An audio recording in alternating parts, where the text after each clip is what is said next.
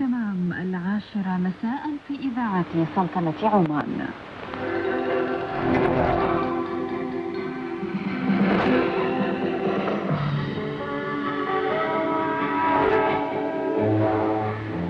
بسم الله الرحمن الرحيم. السلام عليكم ورحمة الله وبركاته.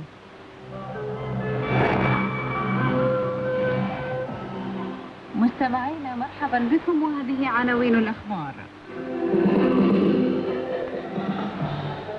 بتكليف من جلالة السلطان المعظم حفظه الله ورعاه. صاحب السمو السيد الشاب بن طارق آل سعيد ترأس اليوم وفد السلطنة في أعمال مؤتمر القمة الأول لحوار التعاون الآسيوي التي تستضيفها دولة الكويت.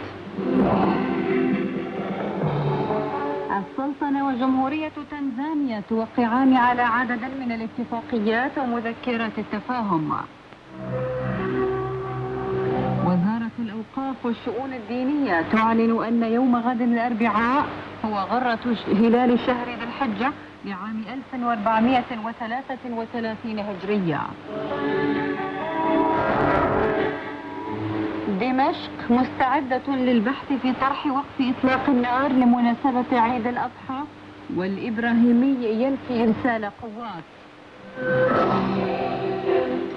العقوبات الأوروبية الجديدة على إيران تدخل حيز التنفيذ. فرنسا تتحدث عن تدخل عسكري وشيك في جمهورية مالي. اليابان ترصد سفنا حربية صينية متجهة